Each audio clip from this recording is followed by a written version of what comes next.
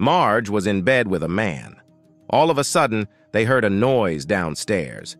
The man said, Oh my gosh, your husband is home. What am I going to do? Just stay in bed with me.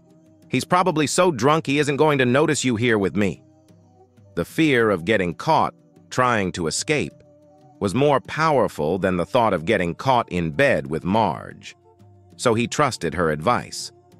Marge's husband came crawling into bed, and as he pulled the covers over him, he pulled the blankets, exposing six feet.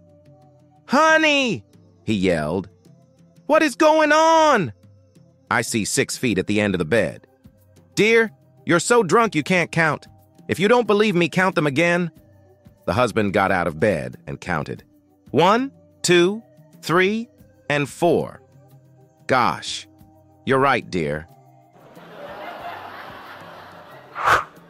A man passed away, and his friend, trying to comfort his widow, asked, Can I take his place? The widow, looking calm, replied, I have no objections, but you should probably check with the cemetery staff first. Like the joke? Stick around for more, hit subscribe, and keep laughing.